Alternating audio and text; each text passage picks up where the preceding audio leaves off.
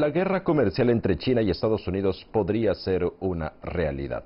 Algunos expertos chinos en economía expresan sus puntos de vista sobre la intensificación de las fricciones entre los dos países. Le recomendaría a Estados Unidos que fuera más sensato. Hemos entrado en una era de globalización y de gran integración. Deberíamos emplear formas más racionales para resolver disputas comerciales.